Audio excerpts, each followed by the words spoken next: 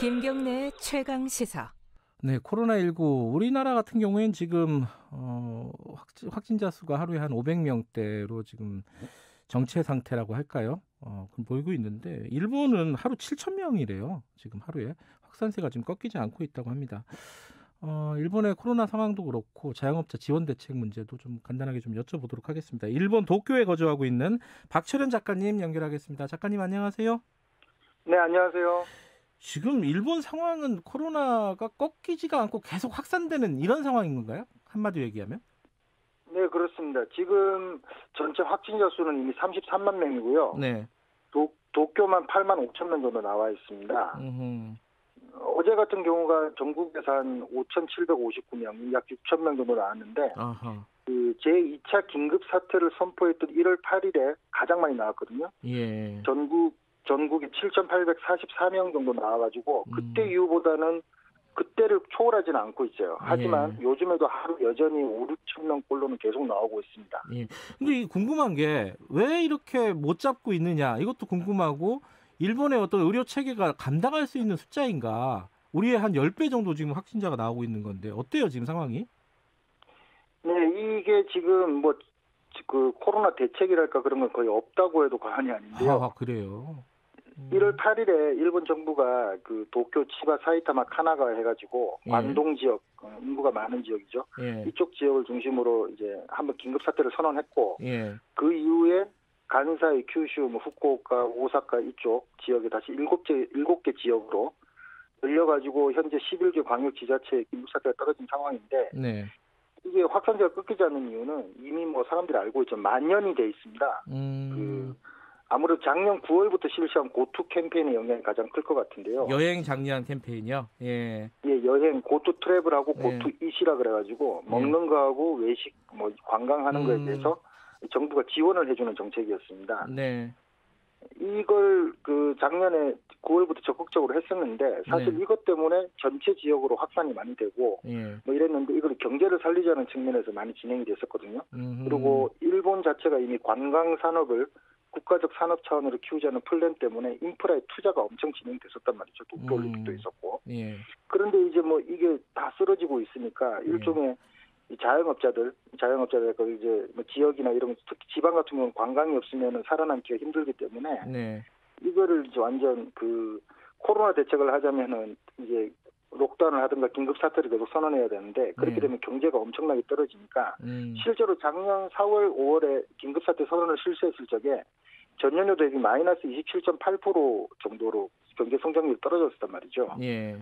그 충격이 컸기 때문에 어떻게 어떻게 이게 뭐 제어를 못 하고 있다가 음. 그래서 이 고투 정책을 지금 폐지한 상태인데 그게 한 달 정도밖에 안 됐어요. 12월 14일에 네. 이미 12월 14일에 고투 정책을 폐기하겠다 이렇게 중단 중단하겠다라고 했는데 12월 13일에 고투 정책 폐지한 그 전날 일본 전체에서 이미 확진자 수가 2,367명으로 나왔 습니다. 음흠. 그러니까 이미 퍼질 대로 퍼진 상황이라고 봐야죠. 근데 아까 저 긴급 사태 발령했었다 그랬잖아요. 도쿄 같은 경우에. 네. 그러면 문을 네. 완전히 닫는 거예요, 가게들이? 어떻게 지금 되고 있습니까? 아닌데 시간 제한 영업이라 그래 가지고 아, 저녁 8시까지 하는 거죠. 아하, 저녁 8시까지. 이게 이유가 있는데 예. 그 보통 6시나 7시 이렇게 이제 일을 끝마치면은 가볍게 한 잔씩 하거나 모여서 외식도 하고 예. 그러는데 가게가 8시까지 하게 되면 외식하기가 되게 애매해지지 않습니까? 회식 같은 거 하기가. 예. 그러니까 바로 집으로 가는 거죠. 집으로 가니까 길거리에 사람이 통행량이 떨어지고 그러면은 좀 낫겠다 싶은데 그래서 이제 음식점만 대상으로 이렇게 긴급 사태를 하는 음, 겁니다. 음흠. 술을 제공하는 음식점. 음흠. 그래요. 그래서 뭐 빠찡코라든가 백화점이라든가 예. 뭐 이런 사람들이 우리가 생각하기 사람들이 많이 모일 것 같은 그런 지역 그런 업장에 대해서는 음흠. 이, 이번에 대상이 아니에요. 그래 다 정상적으로 영업하고 있습니다. 다른 것들은. 그러면 술집이나 식당들, 술을 제공하는 식당들은 불만이 있을 수밖에 없잖아요. 불만이 있는데 이제 그 뭐 당근 정책이라 그래가지고 예. 정부의 시책을 충실히 따라주는 업장의 경우에는 하루에 6만 원씩 이 돈을 주니까 6만 원이면 우리 돈으로는 얼마 정도 되는 거죠? 63만 원 정도 되죠. 하루에요?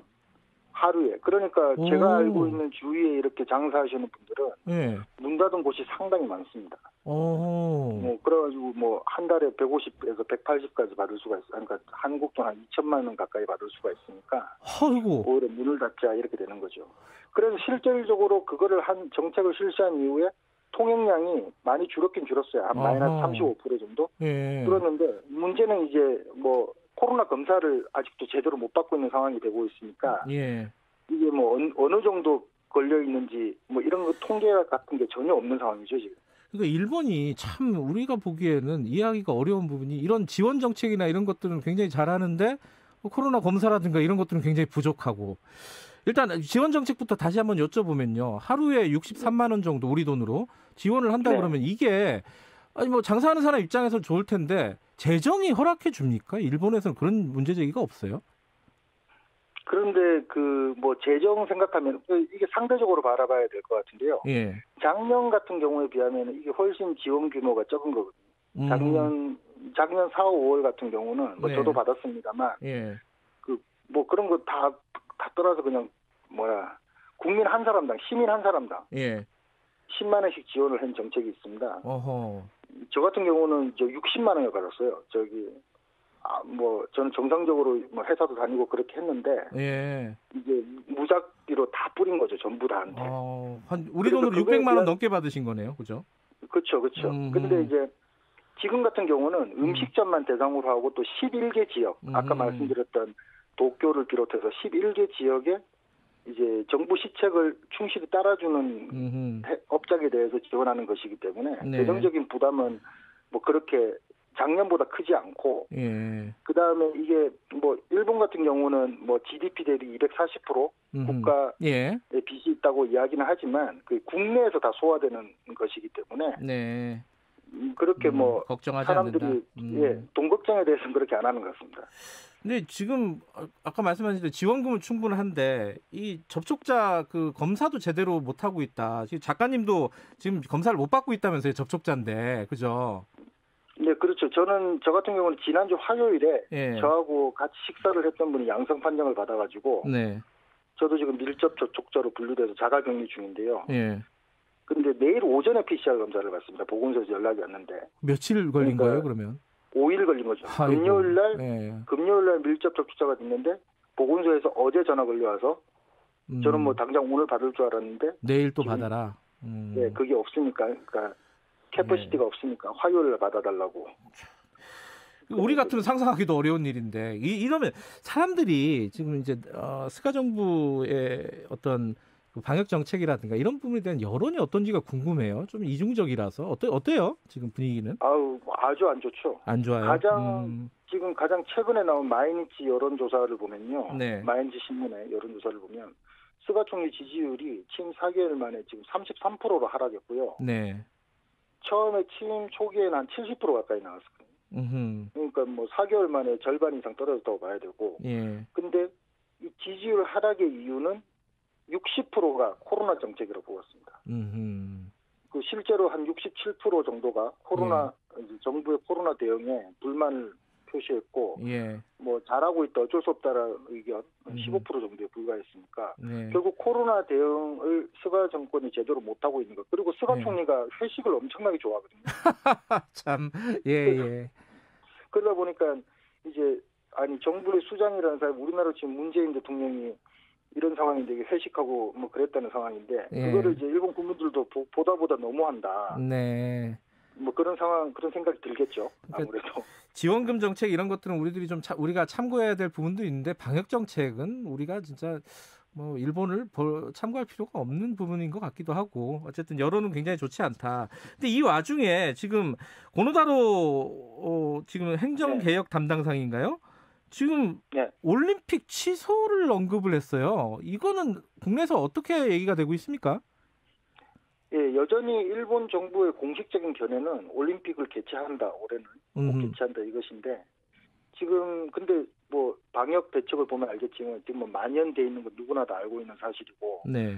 뭐 실제로 일본의 입헌 민주당의 뭐 중진 의원이 코로나 검사를 PCR 검사를 못 해가지고 뭐 급사하는 경우까지 발생했으니까 네. 이건 뭐 방역이 이렇게 이런 상황이면은 개최가 힘들죠. 네. 그런데 이런 상황에서 이제 고노타로 대신에 발언이 나왔던 말인데 음. 뭐 맞는 말 했다는 의견이 많죠. 음. 그런데 하필이면 타이밍이 스가 총리 지지율이 지금 하락하면서 나온 거란 말입니다. 아하. 그래서 차기 총리 자리를 두고 자기를 어필하기 위한 퍼포먼스로 도쿄 올림픽을 그래요? 거론한 게 아니냐는 의견이 어. 있죠. 실제로 지금 근데 각종 여론조사에서는 코노타로 행정개혁 담당상이 차기 총리 1순위입니다. 근데 진짜 올림픽 못할 가능성도 있는 거예요, 있기는? 근데 뭐 상황이 그러니까 올림픽이라는 게 말 그대로 선수들만 와가지고 그냥 하면 상관이 없는데 아, 그건 아니죠, 당연히. 예. 예, 그런 올림픽은 좀 올림픽이라고 하기가 좀 그렇지 않습니까? 음, 네. 자, 일본 상황이 복잡하게 돌아가고 있군요. 알겠습니다. 오늘 말씀 감사합니다. 그 검사 잘 받으시고요. 네, 알겠습니다. 예, 고맙습니다. 일본 도쿄에 거주하고 있는 박철현 작가님과 함께 일본 상황 좀 알아봤습니다. 자영업자분들 문자 계속 보내주시는데 어, 1702님은 매출액 4억이 넘어가지고 지원금을 못 받는다는 말씀도 보내주셨고 7180님도 자영업자들 다 죽어간다는 고통스러운 말씀 보내주셨습니다. 이게 외국 사례도 좀 잘 참고해, 참고했으면 좋겠습니다. 자, 김경래 최강기사 오늘 여기까지 하죠. 내일 아침 7시 20분에 다시 돌아옵니다.